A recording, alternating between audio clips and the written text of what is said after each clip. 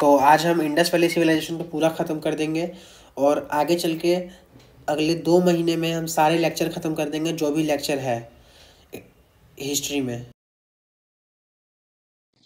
तो आज हम पढ़ेंगे इंडस वैली सिविलाइजेशन। तो इंडस वैली सिविलाइजेशन पढ़ने से पहले हमें देखना पड़ेगा, हमने प्रीवियस लेक्चर में पढ़ा था चालकोलिथिक एज। तो चालकोलिथिक एज में क्या हुआ था कि हमारे पास कॉपर का डिस्कवरी हो गया था। कॉपर हमारे पास डिस्कवर हो गया था। तो जब कॉपर डिस्कवर हुआ और इन्होंने एग्रीकल्चर भी स्टार्ट कर दिया, हमारे पास इन्होंने हंटिंग तो कर ही रहे थे डोमेस्टिकेशन स्टार्ट कर दिया कॉपर डिस्कवर हो गया। तो अगर कॉपर डिस्कवर हो गया तो फिर क्या हुआ कि कल्टीवेट सोयल हो गया। सोयल और भी ज़्यादा उपजाऊ होने लगा। सोयल और भी ज़्यादा उपजाऊ होने लगा। तो जब उपजाऊ होता था तो वो क्या करते थे? ज़्यादातर जो वो रहते थे लोग एग्रीकल्चर के उस पर जैसे यहाँ इस पिक्चर में ये लोग रह रहे हैं तो ये लोग रह रहे थे, हमेशा पानी के पास रहते थे। तो रिवर के पास क्यों रहते थे? क्योंकि इनको को हर काम एग्रीकल्चर करने के लिए पानी ज़रूरी है। इनको हर काम करने के लिए पानी ज़रूरी है। तो पानी के लिए ज़्यादा दूर ना जाना पड़े। इसीलिए ये हमेशा पानी के पास सिविलाइज करते थे।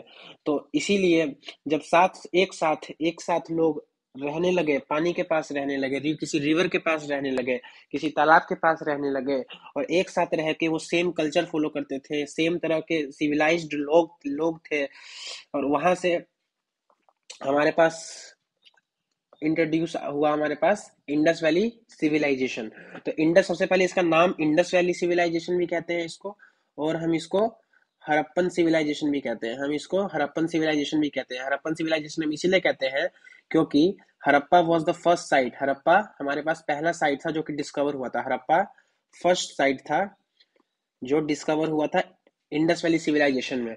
और इसका इंडस नाम इसलिए पड़ा क्योंकि ये रिवर इंडस नदी के पास था। जो कि हिंदी में हम इसको बोलते हैं सिंधु घाटी सभ्यता। सिंधु रिवर हिंदी में बोलते हैं, इंग्लिश में इंडस को हम बोलेंगे Indus. Indus valley civilisation. Indus एक रिवर था, इसीलिए उस रिवर, इंडस रिवर के आसपास ये सिविलाइजेशन हमें दिखी थी तो हमने इसका नाम रख दिया Indus valley civilisation. Indus valley के पास और सिविलाइजेशन का मतलब सिविलाइज मतलब रिवर के पास लोग रह रहे हैं, सेम कल्चर फॉलो कर रहे हैं, सेम तरह की चीज़ें फॉलो कर रहे हैं। तो यहाँ पे हमारे पास फ़र्स्ट साइट था, हरप्पन हरप्पन साइट हरप्पा हरप्पा जो था, अगर हम इसके मैप पे बात करें तो हमारे पास यहाँ पर है हरप्पा. हमारे पास यहाँ पे हरप्पा हमें दिख रहा है. तो हरप्पा कौन से नदी के पास है? ये सब यहाँ के जो जितने भी, ये नदी जा रही है, ये सब नदीज है. ये सब रिवर्स है. तो अगर हम बात करें, यहाँ से ये रिवर आ रही है हरप्पा. ये कौन सा रिवर है ये? ये रिवर है रवि रिवर रावी जिसको बोलते हैं रावी तो रावी रिवर तो हरप्पन सिविलाइजेशन रावी रिवर के पास था. रिवर की अगर हम फ्लो की बात करें तो ये रावी, रावी रिवर आ रही है. यहाँ से होते हुए और यहाँ से ऐसे जा रही है. और हरप्पन सिविलाइजेशन कहाँ है? ये रहा हरप्पन सिविलाइजेशन तो ये कौन से नदी के पास है? रावी रिवर के पास है. तो यही यहाँ पे दिया गया है कि हमारे पास लोकेशन क्या है इसका? Mont Montgomery Punjab, Pakistan. Montgomery Punjab, Pakistan. Area भी अगर डिवाइड करें तो इंडिया का ये मैप है। ये गुजरात वाला एरिया है।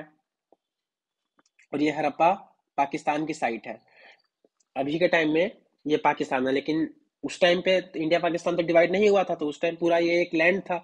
तो ये हरप्पा साइट है, जो कि पाकिस्तान पाकिस्तान में है। पाकिस्तान में भी एक जगह है पंजाब। पंजाब दो है, एक इंडिया में पंजाब है, एक पाकिस्तान में पंजाब है। जो पाकिस्तान में पंजाब है मोन्टोगो मोन्टोगो मैरी जगह पे, वो इसका लोकेशन है हरप्पा का। ये उतना इंपॉर्टेंट नहीं है, खाली ये इंपॉर्टेंट है कि ये पंजाब पाकिस्तान में है हरप्पन सिविलाइजेशन और ये रवि तो रिवर तो पता चल गया कि ये रवि रिवर के पास है, जहाँ से हम देख रहे थे कि ये रवि रिवर आ रही है, ये रवि रिवर आ रही है, यहाँ से, और ये हरप्पा सिविलाइजेशन यहाँ है। तो ये रवि रिवर के पास है तो इसका रिवर क्या हो गया? रवि रिवर हो गया। अब डिस्कवर कब डिस्कवर किस ईयर में हुआ था? तो डिस्कवर हुआ था 1921 मतलब इंडस वैली सिविलाइजेशन भी कब डिस्कवर हुआ था? 1921 1921 क्योंकि हरप्पा फ़र्स्ट साइट था, हरप्पा फ़र्स्ट साइट था इंडस वैली सिविलाइजेशन का, इसीलिए और हड़प्पा जो था वो 1921 में डिस्कवर हुआ था, इसलिए इंडस वैली सिविलाइजेशन का भी डिस्कवरी कब हुआ था? 1921 तो यहाँ हम लिख सकते हैं कि इंडस वैली का भी डिस्कवर कब हुआ था? डिस्कवर हुआ था 1921 डिस्कवरी ईयर 1921 हड़प्पा का। 1921 हड़प्पा का है। उसके बाद हम बात करें एक्सकावेटर कौन था? एक्सकावेटर कौन था? D R Sahni, Dayaram Sahni. आगे चल के हम ट्रिक याद करेंगे कि हमको कैसे पता चले कि जैसे लोथल हो गया मोहनजोदारो हो गया, हरप्पा हो गया तो ये सब किस किसने खोजा? ये इंपॉर्टेंट है। दो चीज़ यहाँ पे इंपॉर्टेंट है। पहला तो हमारे पास ये इंपॉर्टेंट है कि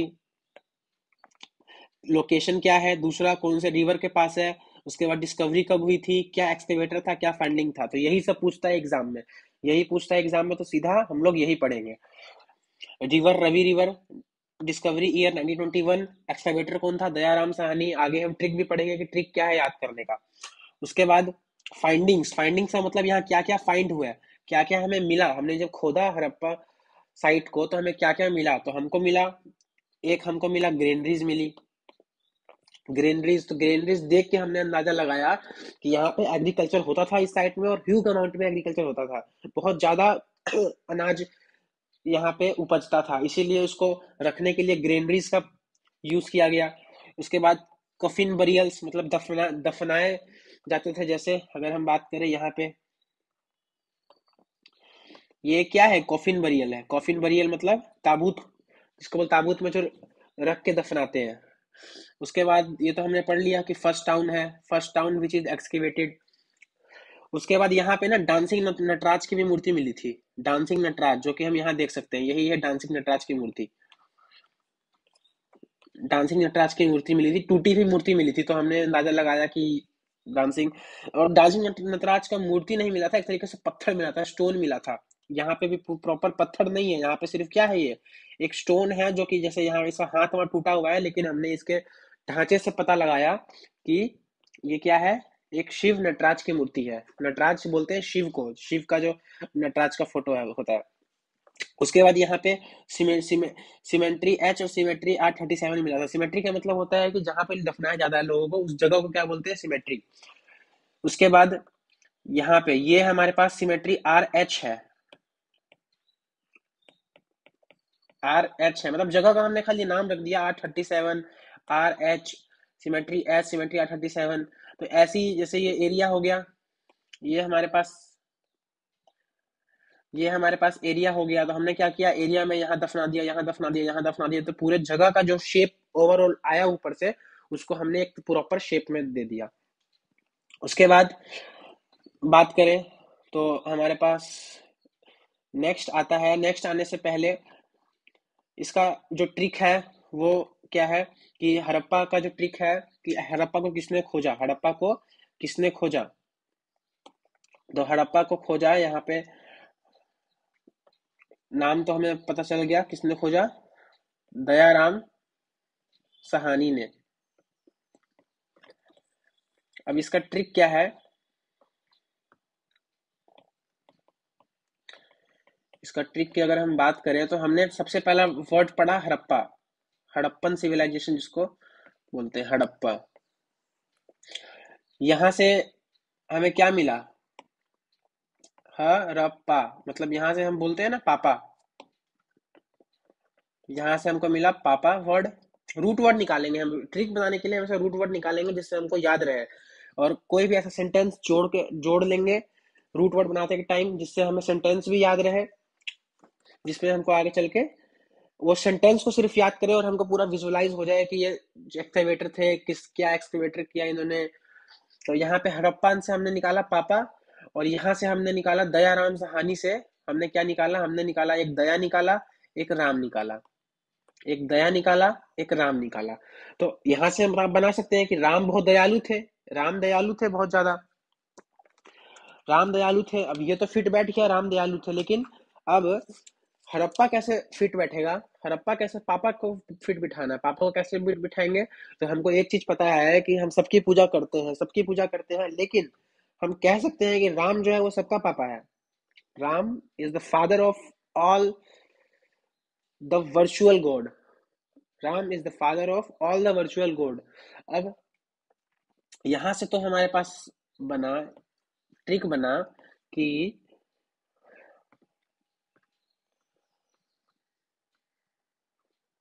पापा राम ने, पापा राम ने दया किया। पापा राम ने दया किया।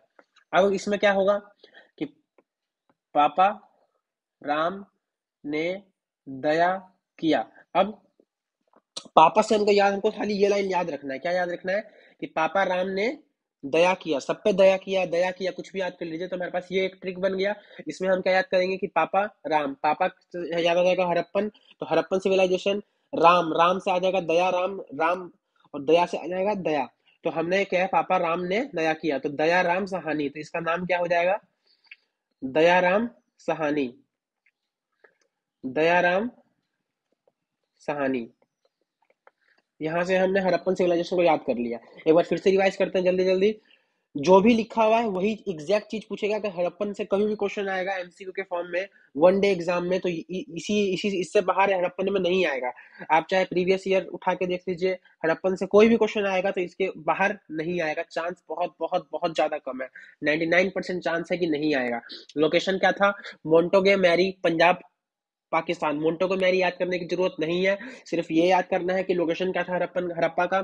पंजाब, पाकिस्तान फ़र्स्ट साइट था। ये बहुत इंपॉर्टेंट है। First site Harappan was the first site which is excavated in Indus valley civilisation इसीलिए इंडस वैली सिविलाइजेशन को हम हड़प्पन सिविलाइजेशन भी बोलते हैं। ये कौन सा रिवर के पास था? रवि रिवर डिस्कवर के ईयर क्या था? 1921 1921 बार बार बोल रहे 1921 में हड़प्पन सिविलाइजेशन डिस्कवर हुआ था। उसके बाद एक्सकवेटर कौन था? तो एक्सकवेटर कौन था? पापा राम ने सब पर दया किया। तो पापा मतलब हड़प्पा, दयाराम। दयाराम सहानी। राम ने दया किया तो दयाराम सहानी। उसके बाद फाइंडिंग आ जाएगा ग्रेनरीज ग्रेनरीज से सोच सकते हैं कि फ़र्स्ट साइट था। फ़र्स्ट साइट था तो हड़प्पन में बहुत ज़्यादा तो ये हमको रटना पड़ेगा। जो इसकी फाइंडिंग्स है ना, वो हमको रटना पड़ेगा या किसी के पास कोई ट्रिक हो तो अपना ट्रिक से याद कर लेकिन ट्रिक से याद कर लेना, लेकिन एग्ज़ाम में पूछता है कि ग्रेनरीज ऐसे पूछ देगा कि ग्रेनरीज हमें कॉफिन बरियल हमें कॉफिन कफिन बरियल हमें कौन से साइट्स में इंडस वैली के कौन से साइट्स में निकला? चार ऑप्शन दे देगा, हड़प्पा मोहनजदारो लोथल, और चानुदारो दे देगा। अब टिक करना है। तो अगर हमें पता रहेगा कि कोफिन बरियल हड़प्पन सिविलाइजेशन के साइट में हमको फाइंड हुआ था, तब तो सीधा हम टिक मारेंगे, आगे बढ़ेंगे। तो फाइंडिंग्स क्या क्या थी? Granaries coffin burial first town जो था एक्सकीवेट करने के लिए एक्सवेट हुआ था। उसके बाद डांस, डांसिंग नटराज का स्टोन मिला था, एक सिमेट्री एच सिमेट्री आठ थर्टी सेवन मिला था। इसके अलावा हड़प्पन सिविलाइजेशन से कुछ नहीं आएगा। पूरा हड़प्पन सिविलाइजेशन हमने इतने में खत्म कर लिया। इतने में पूरा हड़प्पन सिविलाइजेशन हमने खत्म कर लिया। पीवाई क्यू लगा लीजिए? सारे क्वेश्चन बनेंगे। सर क्वेश्चन हर क्वेश्चन बनेंगे। उसके बाद नेक्स्ट आते हैं मोहनजो दारो पे। नेक्स्ट आते हैं मोहनजो दारो पे। तो मोहनजो दारो जो है वो उसका जो लोकेशन क्या है? अच्छा ये बिगेस्ट सिटी है इंडस वैली सिविलाइजेशन की। इंडस वैली सिविलाइजेशन की बिगेस्ट मतलब सबसे बड़ा एरिया है इंडस वैली सिविलाइजेशन का ये। तो अगर हम बात करें मोहनजो दारो की मोहनजो मोहनजो दारो बिगेस्ट सिटी है इंडस वैली सिविलाइजेशन की। अगर एग्ज़ाम में पूछेगा कि इंडस वैली सिविलाइजेशन की इंडस वैली सिविलाइजेशन की बिगेस्ट सिटी कौन है तो हम क्या बोलेंगे? मोहनजो दारो मोहनजो दारो। लेकिन अगर पूछता है कि इंडिया का क्या होगी क्योंकि हमारे पास लोकेशन इसका क्या है? सिंध, पाकिस्तान सिंध, पाकिस्तान। लेकिन पाकिस्तान तो अभी हमारा इंडिया इंडिया का नहीं ना है। अगर इंडिया में नहीं तो है, पाकिस्तान तो इंडिया में नहीं है। लेकिन अगर क्वेश्चन ये आ जाएगा कि which is the biggest city in valley civilisation in India अगर इंडिया की बात करेंगे ये तो हमारे पास प्रॉपर इंडस वैली सिविलाइजेशन की है मोहनजोदारो अगर इंडिया नहीं लगाएगा, सिर्फ़ पूछेगा इंडस वैली सिविलाइजेशन का बिगेस्ट सिटी कौन सा है तो सिर्फ़ डाल देंगे मोहनजोदारो लेकिन अगर पूछेगा कि इंडिया का कौन सा है तो इंडिया का याद रखना है इंडिया का आगे चल के हम पढ़े भी, पढ़ेंगे भी इंडिया का जो साइट है, वो है राखी गिड़ी राखी गिड़ी है जो कि इंडिया में है। राखी गिड़ी आगे पढ़े भी, पढ़ेंगे भी इसके बारे में। और अभी हम पढ़ रहे हैं मोहनजोदारो का तो मोहनजोदारो का क्या याद रखना है हमको? कि मोहनजोदारो क्या है? Mohenjodaro is the biggest city in Indus valley civilisation अगर पूछेगा इंडस वैली सिविलाइजेशन में कौन सी बड़ी सिटी है मोहनजो एक बार फिर बता रहा हूँ। मोहनजोदारो है। अगर पूछेगा इंडस वैली सिविलाइजेशन की बिगेस्ट सिटी कौन सी है इंडिया में तो इंडिया में कौन सी है? राखी गढ़ी कौन सी है? राखी गढ़ी उसके बाद मोहनजोदारो का लोकेशन क्या है? तो सिंध, पाकिस्तान। अच्छा हम देख लेते हैं एक बार यहाँ से मैप से। तो ये मोहनजोदारो है। हमारे पास, ये रहा हमारे पास मोहनजोदारो मोहनजो दारो। अच्छा ये कौन सा रिवर से आ रहा है? तो कैसे पता लगाएँगे कौन से रिवर से आ रहा है? तो ये बगल में रिवर जा रहा है, ये वाला। ये गया ये गया ये गया ये गया। यहाँ पे कौन सा रिवर आया? इंडस रिवर आया। कौन सा आया? इंडस रिवर आया। इंडस रिवर आया। तो मोहनजो दारो, कौन से रिवर के पास, मोहनजो दारो सिविलाइजेशन कौन से रिवर के पास था? Indus valley civilisation Indus Indus river के पास था। तो बस वही करना है। लोकेशन क्या था? लोकेशन था सिंध, पाकिस्तान। पाकिस्तान के लोकेशन है, पाकिस्तान के लोकेशन है। उसके बाद सिंध सिंध जगह है पाकिस्तान में डिस्ट्रिक्ट एक सिटी टाउन है पाकिस्तान में। उसके बाद रिवर तो पता चल गया कि सिंधु रिवर हिंदी में कहते हैं, वैसे इसका नाम है इंडस रिवर इंडस रिवर के लोग, के पास था। उसके बाद डिस्कवरी का ईयर क्या था? वो 1922 ये सेकंड सेकंड सिटी है एक्सकवेट हुआ था जो मोहनजोदारो के, वो इंडस वैली सिविलाइजेशन में सेकंड साइट है जो कि डिस्कवर हुआ था। क्या हुआ था कि 1921 में जब ये हमको हड़प्पन सिविलाइजेशन मिला, हमको जब 1921 1921 में जब हमको हड़प्पन सिविलाइजेशन मिला तो हमको लगने लगा कि यहाँ पे ऐसा तो नहीं है कि ये एरिया है। ये ऐसा नहीं है कि पूरे एरिया में सिर्फ़ एक तरह के लोग रहेंगे। यहाँ पे ये पूरा एरिया में यहाँ भी लोग रहेंगे, यहाँ भी लोग रहेंगे, यहाँ भी लोग रहेंगे, यहाँ भी लोग रहेंगे। तो हमको सिर्फ़ अभी तक ये मिला था। लेकिन फिर हमने क्या किया? हमने और तेज़ी से खुदाई कर दी आसपास के एरिया की। और आसपास के एरिया यहाँ पे कम लग रहा है, लेकिन आसपास का एरिया लैंड में कई किलोमीटर्स होते हैं, कई किलोमीटर्स होते हैं, कई टाउन्स निकल जाते हैं आसपास के एरिया में। इसीलिए इसीलिए हमने क्या किया कि हमने यहाँ से खुदाई क्या कर दी? तेज कर दी। इसलिए हमको तुरंत तुरंत हम मिलेगा। 1921 में हमको हरप्पन सिविलाइजेशन मिला। तुरंत हमने एक साल बाद ही, एक साल बाद ही हमने 1922 में मोहनजोदारो को खोज दिया। मोहनजोदारो को खोज दिया। उसके बाद क्या हुआ कि मोहनजोदारो को खोजा किसने?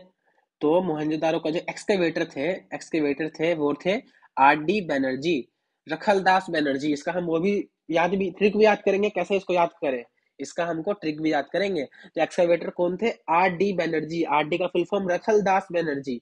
रखल दास बैनर्जी। अच्छा अगली लाइन क्या रहा है? कि बहुत ज़्यादा फैसिलिटेड साइट थी इंडस वैली सिविलाइजेशन की। क्यों थी? Indus valley Mohenjodaro Indus valley civilization की बहुत फैसिलिटेड मतलब फैसिलिटेड का मतलब होता है लग्जरी मतलब उस टाइम का जो लग्जरी जितना भी इन्होंने खोजा ना, उस टाइम पे मोहनजोदारो कैसा साइट था, जहाँ पे इनको बहुत ज़्यादा लग्जरी दिखी, बहुत ज़्यादा फैसिलिटीज़ दिखी। तो इन्होंने लिख दिया कि ये बहुत ज़्यादा फैसिलिटी साइट थी। क्यों थी फैसिलिटी साइज़ तो यहाँ पे, जैसे ये एक मोहनजोदारो का एक वो है साइट है। अच्छा ये देखो, यहाँ पे स्विमिंग पूल था। देखो, ये पूरा स्विमिंग पूल है।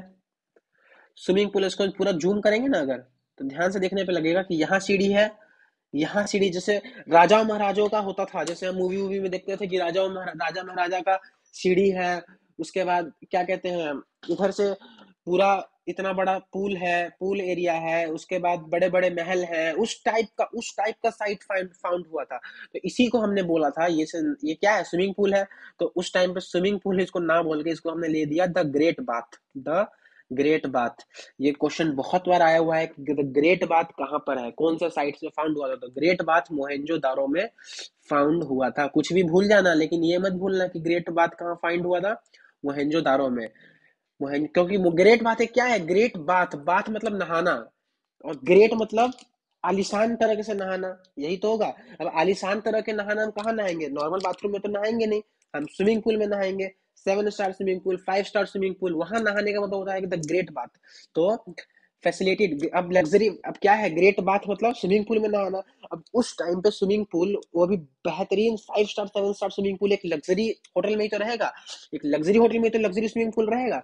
तो यहाँ पे लग्जरी ग्रेट बात है तो लग्जरी ग्रेट बात है तो लग्जरी साइट में रहेगा। तो लग्जरी साइट क्या है? मोहनजो दारो इसलिए ऐसे याद रख सकते हैं।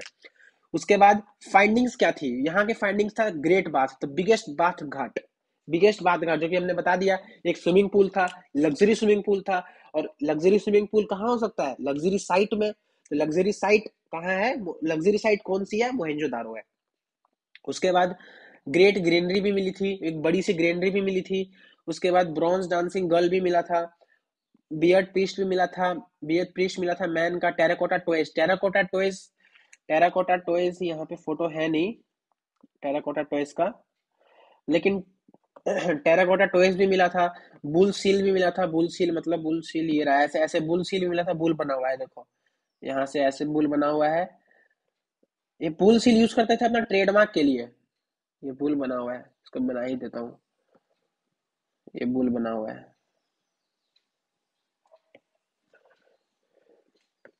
ये ट्रेडमार्क करते थे, हमने ठप्पा में जैसे अभी के अभी के टाइम में कोइन चलता है ना कोइन में गांधी जी का ठप्पा होता है। वैसे ही कोइन में गांधी जी का ठप्पा होता है, नोट में गांधी जी का ठप्पा होता है, वैसे ही ये एक सील पे ना ठप्पा अपना लगा के वो सील को आपस में एक्सचेंज इंटरचेंज करते थे, एक बाटर सिस्टम की तरह। बाटर सिस्टम अगर इकोनॉमिक्स पढ़े है तो बाटर सिस्टम क्या होता है कि किसी भी सामान ना देके बाटर सिस्टम क्या होता है कि ए के पास मान के चलो कि वीट है ए के पास वीट है और बी के पास मान के चलो कि चक्की है चक्की है तो क्या करेंगे? अब ए, बी के पास, अब ए के पास चक्की नहीं है, बी के पास वीट नहीं है तो ए क्या करेगा? बी के पास जाएगा और बोलेगा कि देखो, तुम्हारे पास गेहूँ तो है नहीं, गेहूँ तो मेरे पास है तो मेरे पास तीन सौ किलो मेरे पास गेहूँ है। तुम एक काम करो, तुम तीन सौ किलो को ना अपने चक्की में पीस दो और उसमें से तुम पचास किलो रख लेना। अब क्या है कि इसने ना पैसा ना इसने पैसा दिया, ना इसने पैसा लिया, इसने भी सर्विस दी, एक वीट के फॉर्म में एक्सचेंज किया, इसने भी वीट के फॉर्म में एक्सचेंज किया। तो क्या हुआ कि इसी को बोलते हैं बार्टर सिस्टम कि हम पैसा नहीं देंगे। एक सामान तुमको जो ज़रूरत है, मैं दे देता हूँ, जो मुझे ज़रूरत है, तुम दे दो, हम उसी में एक्सचेंज कर लेंगे। वही चीज़ है। उससे बोलते हैं बार्टर सिस्टम तो बार्टर सिस्टम एक्सचेंज करने के लिए तो ये लोग ने उस टाइम पे कोइन कोइन तो इनके पास था नहीं कि कोइन चलाएँगे। तो ये अपने बुल सील सील मार के देते थे। ऐसा। यहाँ पे ठप्पा रहेगा बुल का तो बुल सील। वैसे ही पशुपति सील पशुपति सील वैसी देंगे तो ये रहा पशुपति सील। इसी को, यही पशुपति सील है हमारा। यही हमारे पास पशुपति सील है। डिज़ाइन देख रहे हो? उस टाइम पे, मोहनजोदारो के टाइम पे बात हो रहा है ये इंडस वैली सिविलाइजेशन 2500 बीसी का है। 2000 बीसी 2000 बीसी और 2500 बीसी का टाइम का इंडस वैली सिविलाइजेशन है। उस टाइम पे ऐसा ऐसा डिज़ाइन बना दे रहे हैं। कम बात थोड़ी है। पशुपति सील। कितने वो लोग सिविलाइज्ड होंगे, कितने वो लोग नॉलेजेबल होंगे। उसके बाद हिडन ड्रेनेज हिडन ड्रेनेज मतलब आज के टाइम में भी आज के टाइम है मॉडर्न सेंचुरी कहते हैं। लेकिन अभी भी के टाइम में गटर दिखता है हम लोग को। गटर हम लोग को नाली बहता हुआ दिखता है। लेकिन उस टाइम पे उस टाइम पे इतना अच्छा टेक्नोलॉजी था। उतना अच्छा हमारे पास सिविल इंजीनियर्स थे, कह सकते हैं। आज के टाइम में तो सिविल इंजीनियर्स कहते हैं। तो उस टाइम के ऐसे सिविल इंजीनियर्स थे जिन्होंने हिडन ड्रेनेज मतलब ड्रेनेज दिखेगा ही नहीं। उस तरीके का डिज़ाइन करके दिया था कि नाला दिखेगा ही नहीं, नीचे से नीचे चले जाएगा। उसके बाद a piece of woven cloth एक पीस ऑफ़ वुवन क्लोथ भी मिला था। तो हमने यहाँ पे मोहनजोदारो में क्या क्या पढ़ा कि Mohenjodaro is the Mohenjodaro is the biggest site in Indus valley civilisation अगर बिगेस्ट साइट पूछेगा तो इंडस वैली सिविलाइजेशन अगर biggest site Indus valley civilisation India में पूछेगा तो राखी गढ़ी क्या पूछेगा?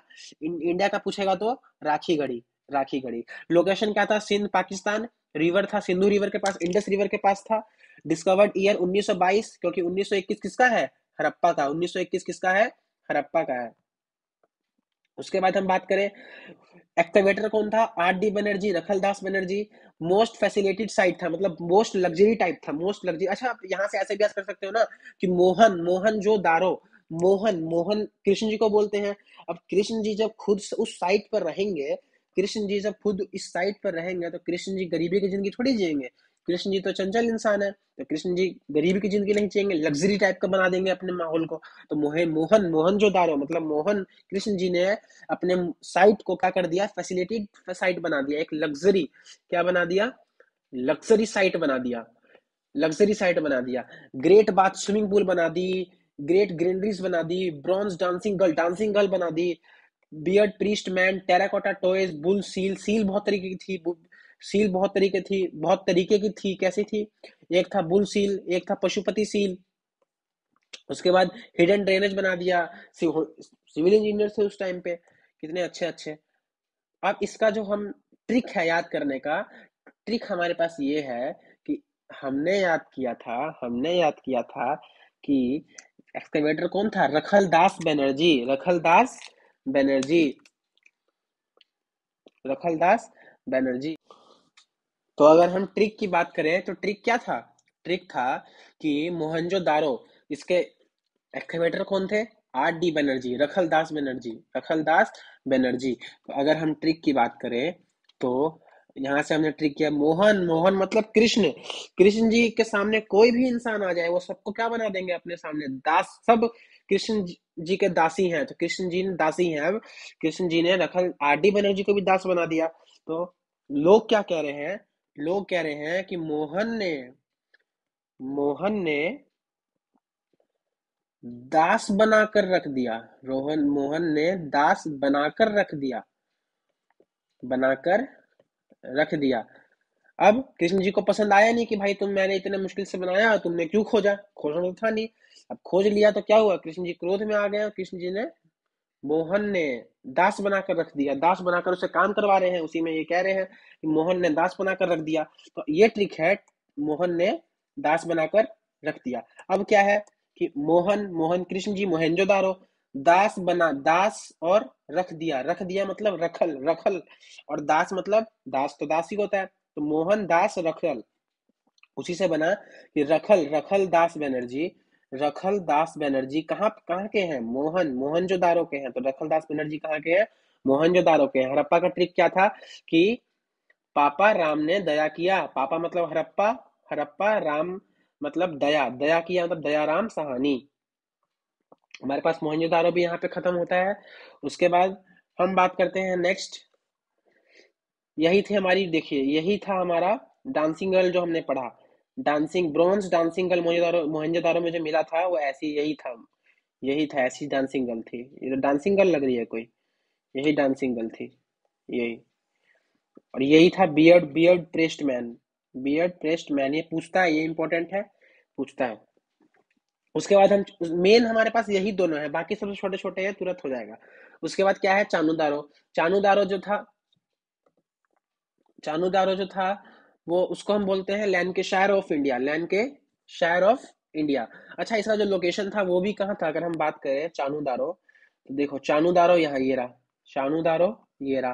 अच्छा कौन से रिवर के पास ही है? तो इंडस रिवर के पास ही है। यही तो जा रहा है, ये रिवर जा रहा है, ये रिवर मोहनजोदारो के होते हुए इंडस रिवर पे ही जा रहा है। तो हमने क्या कहा कि जो चानूदारो थे उनका जो लोकेशन क्या था? उनका लोकेशन भी क्या था? सिंध, पाकिस्तान। क्या था? सिंध, पाकिस्तान। कौन से रिवर के पास? इंडस रिवर के पास। ये तो बात करने की ज़रूरत ही नहीं है। उसके बाद हम बात करें डिस्कवर्ड ईयर तो डिस्कवर्ड ईयर क्या हुआ था ना? कि 19 1931 में हमारे पास एक्सकैवेटर आए गोपाल मजमूदार। गोपाल मजूमदार। मजूमदार, मजमूदार नहीं, मजूमदार। तो हमारे पास 1931 में गोपाल मजूमदार आए। उन्होंने थोड़ा बहुत खोदा, उनको मिला नहीं। उन्होंने कहा, छोड़ो, कुछ नहीं है यहाँ पे फर्जी खोद रहा हूँ। तो उन्होंने छोड़ दिया। लेकिन फिर चार साल के बाद एक फॉरेन आर्कियोलॉजिस्ट आए। फॉरेन आर्कियोलॉजिस्ट आए जिनका नाम था जॉन मैके क्या नाम था? जॉन हेनरी मैक्री नाम क्या है? मैगी जॉन हेनरी मैगी नहीं। जॉन हेनरी मैक्री आए।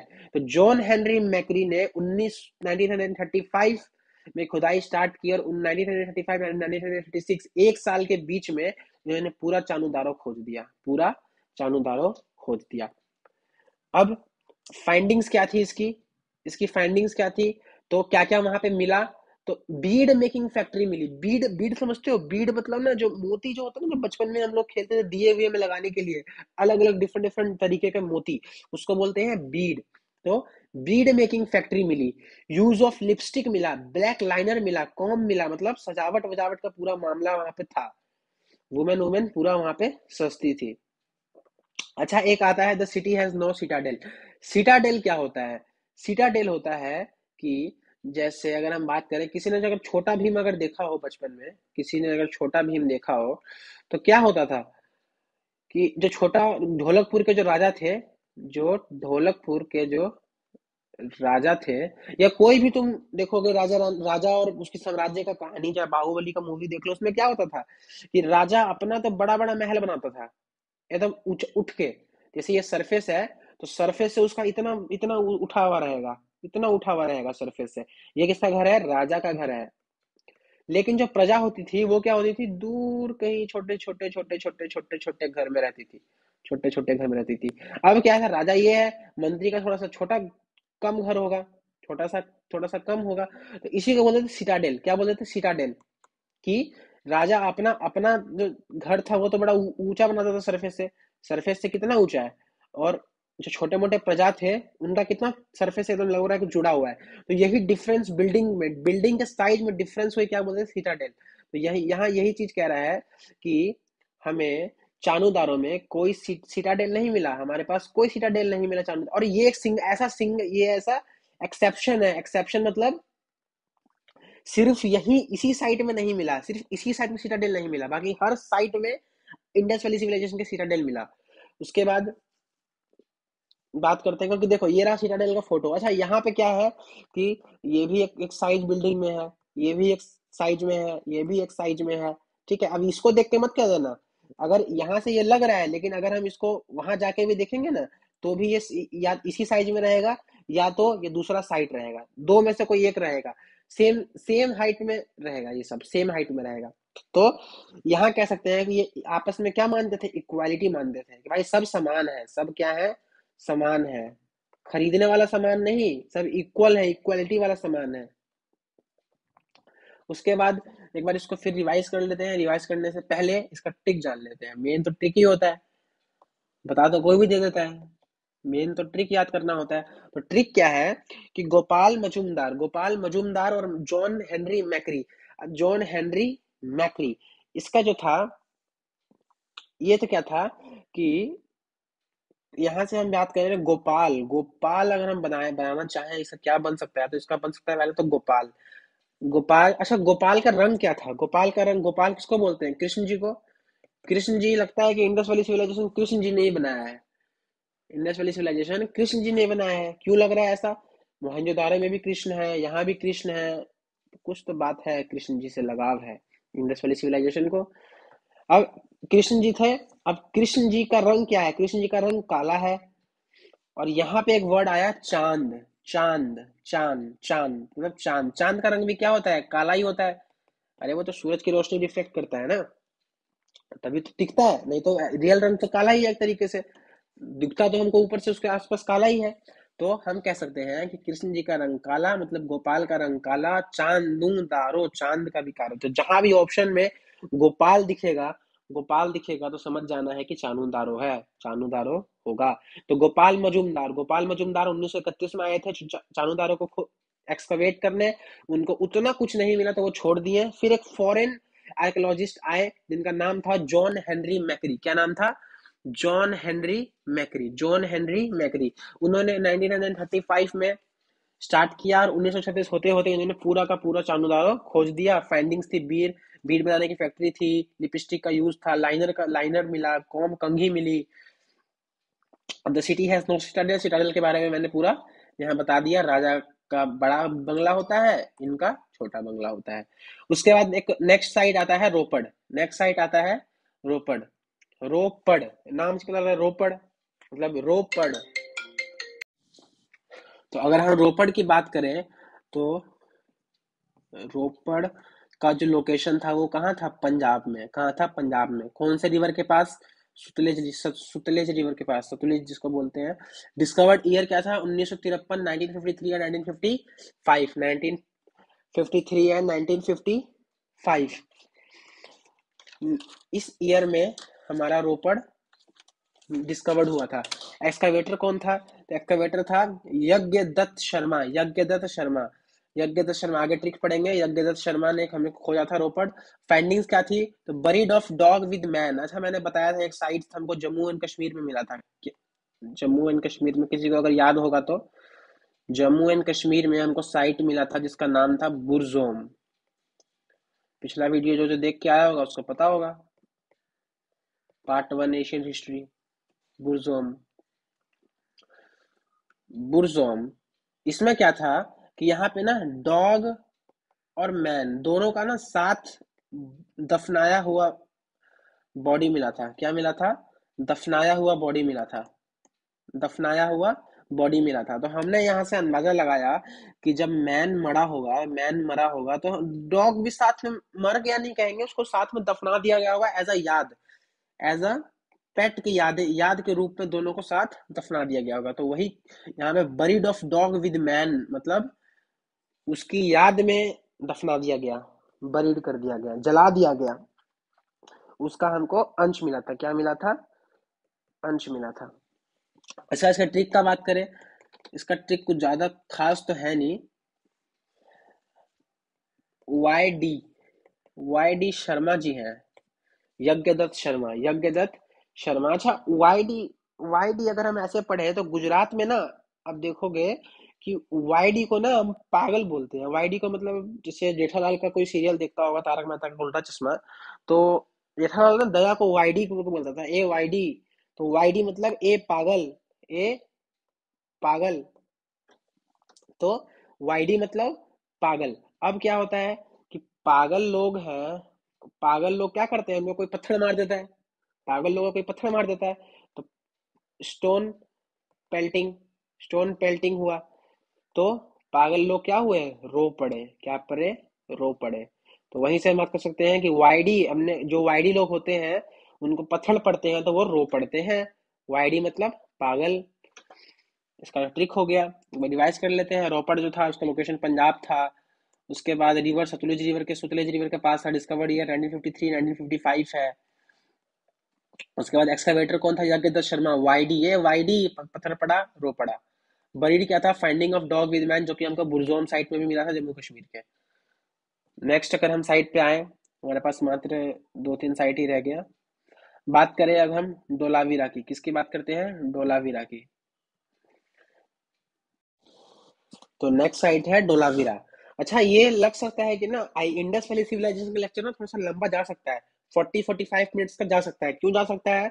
क्योंकि अगर एशियंट हिस्ट्री से क्वेश्चन आया अगर एग्ज़ाम में एशियंट हिस्ट्री से क्वेश्चन आया तो इसका ना मान के चलिए कि 55 परसेंट चांस है कि वो क्वेश्चन पूछेगा, इंडस वैली सिविलाइजेशन से पूछेगा।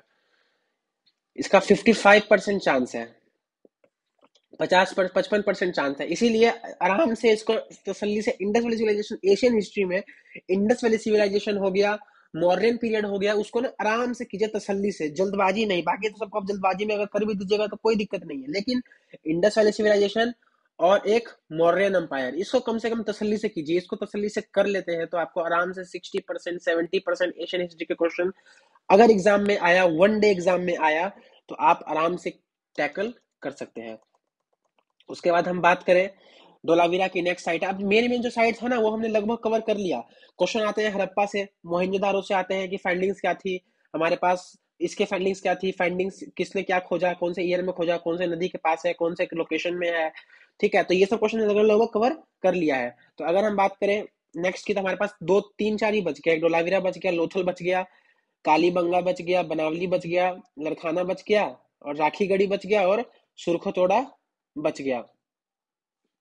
उसके बाद हम बात करें डोलावीरा की। अगर हम थोड़ा, अब अब हम थोड़ा सा जल्दी जल्दी करेंगे कि हमको ना ये सब रटना, रटने वाली चीज़ होती है। ये सब ना रटने वाली, थोड़ा सा समझिए, थोड़ा सा समझिए। अगर आपको 100 परसेंट आईवीसी इंडस्ट्रियलाइजेशन करना है तो इसमें है कि आप 30 40 परसेंट समझिए, बाकी 60 परसेंट रटिए। रटिए भी नहीं कह सकते, कुछ अपने दिमाग से ट्रिक्स बनाइए, या बार बार उसको पढ़िए। तो हम पहले हमारे पास आ गया डोलावीरा। डोलावीरा डोलावीरा का जो लोकेशन क्या है? लोकेशन है हमारे पास कच्छ, गुजरात। कच्छ, गुजरात। यहाँ बात करें डोलावीरा के लोकेशन तो कच्छ, गुजरात। ये रहा डोलावीरा। और इसका जो नदी है, ये वाली नदी है घग्गर। घाघर इसी नदी से ऐसे करते हुए कहीं कहीं कहीं ना कहीं डोलावीरा के पास आएगा। तो हमारे पास लोकेशन क्या है? कच्छ, गुजरात। रिवर कौन सा है? घाघर घाघर। डिस्कवर्ड ईयर क्या है? 1968 अब इसमें ना मैं कुछ एक्स्ट्रा नहीं बता सकता आपको कि 1968 है तो इसमें कुछ ऐसा इवेंट हो जाए। नहीं, आपको सीधा याद करना है, डोलावीरा है 1968 इसका डिस्कवर्ड ईयर है। एक्सकावेटर क्या? एक्सकावेटर कौन थे? तो एक्सकावेटर थे जेपी जोशी जेपी जोशी, जिसका नाम था जगत पति जोशी। अब क्या है कि इसमें ना फाइंडिंग्स क्या थी? फाइंडिंग्स थी हमारे पास block and driven by nude human था वाटर हार्वेस्टिंग था नंबर ऑफ़ रिजर्वर्स थे। मतलब पानी जहाँ एकत्रित होता है, वो नंबर्स ऑफ़ वाटर हार्वेस्टिंग था। Use of rocks for construction थे ड्रेनेज सिस्टम अच्छा था लाइवलीहुड था वेल ब्लॉक था लाइवलीहुड था वेल्स मतलब कुएँ थे ब्लॉक था एक्सेट्रास थे। ये एक फ़ोटो है हमारे पास, डोलावीरा का। तो गुजरात का है, गुजरात का है गगर रिवर के पास है। 1968 में डिस्कवर्ड हुआ था एक्सकेवेटर कौन था? जगतपति जोशी। फाइंडिंग का था block driven by nude human water harvesting and number of reservoir use of rocks अच्छा ये जब लेक्चर पूरा खत्म हो जाएगा ना एशियंट हिस्ट्री हम हम लोग का पार्ट वन खत्म हो चुका है। पार्ट वन खत्म हो चुका है। उसके बाद क्या होगा कि क्या कहते हैं पार्ट वन खत्म हो गया है और इसमें ना टोटल दस से बारह लेक्चर आएगा, पूरा एशियन हिस्ट्री खत्म हो जाएगा, पूरा एशियन हिस्ट्री खत्म हो जाएगा दस से बारह लेक्चर में। उसके बाद आपको इसका पूरा पीडीएफ मिल जाएगा। पूरा पीडीएफ मिल जाएगा जिसको आप नोट्स बनाइए, लिखिए, या तो इसी को पढ़ लीजिए। तो इसकी फाइंडिंग्स थी, याद करने वाली चीज़ें सिर्फ़ याद कर लेना है। जेपी जोशी थे जगतपति जोशी थे। नेक्स्ट पे आते हैं तो नेक्स्ट हमारे पास लोथल लोथल है। लोकेशन क्या है? अहमदाबाद, गुजरात। लोकेशन क्या है? अहमदाबाद, गुजरात। रिवर कौन सा है? भोगवा। डिस्कवर्ड ईयर क्या था? 1955 से 1962 एक्सकवेटर कौन थे? रागनाथ राव। कौन थे? रागनाथ राव। अच्छा ढोल, जेपी जोशी। ढोलावीरा का अगर हम कोई ट्रिक याद सोच सकते हैं तो एक ट्रिक बन सकता है कि ढोला का मतलब ढोल। ढोला का मतलब ढोल। और जेपी जोशी जेपी जोशी कौन थे? मिर्जापुर अगर किसी ने देखा होगा मिर्जापुर किसी ने देखा होगा तो जेपी यादव एक करके करेक्टर था।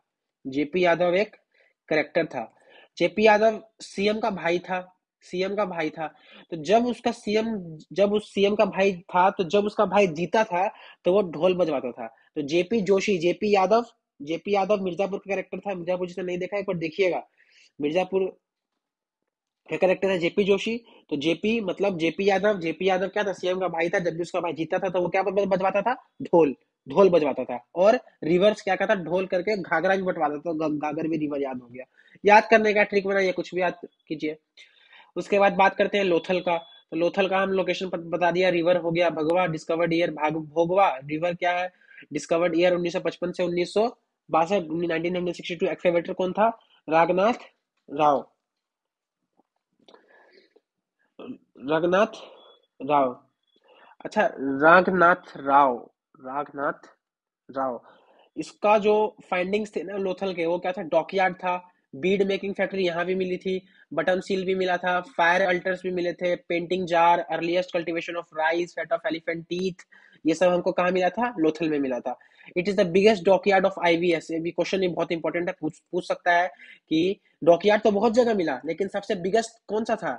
सबसे बिगेस्ट कहाँ था? सबसे बिगेस्ट था हमारे पास लोथल में। बिगेस्ट कहाँ था? डॉकयार्ड लोथल में।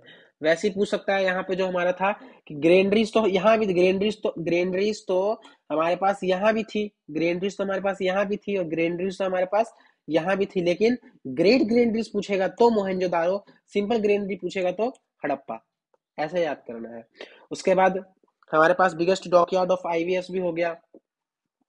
Indus valley civilisation biggest dockyard Lothal है उसके बाद तो इसमें इसमें एक्सकेवेटर को याद कर लीजिएगा Ragnath Rao R R R R R लो भाई आर आर आर की मूवी चल गई ऐसे याद कर सकते हैं याद करना है लोथल मतलब लो भाई लो भाई R R R R R R movie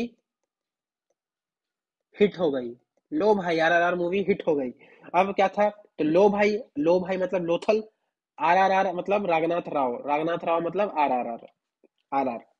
अब नेक्स्ट साइट पे आते हैं कालीबंगन। नेक्स्ट साइट पे अगर हम आते हैं Kalibangan black bangles non plan city non plan city मतलब यहाँ पे कोई सिटी का प्लानिंग नहीं दिखा। जैसे तैसे रह लिया, घर बना के रहने लग गए। उस टाइप का प्लान था। कोई फिक्स प्लान नहीं था जो कि हमको अदर साइट्स में दिख रहा था। तो काली बंगा लोकेशन क्या था? श्री गंगानगर राजस्थान। गंगा, श्री गंगानगर राजस्थान। रिवर क्या था? घग्गर और सरस्वती रिवर सरस्वती रिवर के पास था ये वाला। डिस्कवर्ड ईयर क्या है? 1961 एक्सकेवेटर कौन थे? ब्रिज बसीला, ब्रिज बासीलाल और बालकृष्ण थापर। क्या था? बालकृष्ण थापर। फाइंडिंग्स क्या थी? बेक्ड बर्न बैंगल्स थे फायर अल्टर्स थे, शिवलिंगम था बोन्स ऑफ़ कैमल था। कैमल्स के बोन्स भी मिले थे। इसकी ट्रिक की बात करें तो यहाँ से हम ब्रिज बासी लाल, किसको? ब्रिज बासी को हम यहाँ से बीबी पकड़ते हैं। ब्रिजवासी को यहाँ से हम बीबी पकड़ते हैं। और यहाँ से बाल कृष्ण बाल कृष्ण का थप्पड़ पकड़ते हैं। बाल कृष्ण का थप्पड़ पकड़ते हैं। और काली का, काली बंगा का काली पकड़ते हैं। यहाँ काली गोरा कोई रेसिज्म नहीं चल रहा है लेकिन एक समझने के लिए मैं ये लाइन बोल रहा हूँ कि काली बीवी को थप्पड़ पड़ते हैं। काली बीवी को क्या पढ़ते हैं? थप्पड़ पढ़ते हैं, थप्पड़ पढ़ते हैं। तो ब्रिजवासी काली बीवी मतलब काली मतलब काली बंगा, बीवी मतलब ब्रिजवासी, ब्रिज, ब्रिजवा, ब्रिजवासी लाल, थप्पड़ मतलब बाल कृष्ण थप्पड़ पढ़ते हैं। तो ऐसे याद कर सकते हैं फाइंडिंग्स भी, बाकी सब हो गया। रिवर क्या था? सरस्वती रिवर के पास था। नेक्स्ट की बात करें तो बनावली नेक्स्ट की बात करें तो बनावली लोकेशन था फतेहपुर, हरियाणा। फतेहबाद फतेहाबाद, हरियाणा, बनावली। बनावली क्या था? Fatehabad, Haryana. River same Ghaggar Ghaghar, Saraswati. Discovered year क्या था? 1973 डिस्कवर्ड ईयर क्या था? 1973 एक्सकवेटर कौन था? आर एस बीस्ट कौन था एक्सकवेटर आर एस बीस्ट उसके बाद क्या कहते हैं? आर एस बीस्ट था। फाइंडिंग्स क्या थी? Barley terracotta figure of plough etcetera terracotta figure होता है मिट्टी का। मिट्टी का जगह हम कुछ बनाते हैं तो उसको बोलते हैं टेराकोटा। जब मिट्टी और लकड़ी को मिक्स करके कुछ करते हैं तो टेराकोटा टोयस क्या था टेराकोटा फिगर ऑफ़ प्लग मतलब अच्छा टेराकोटा फिगर हमको जब ये मिला, हमको जब ये मिला,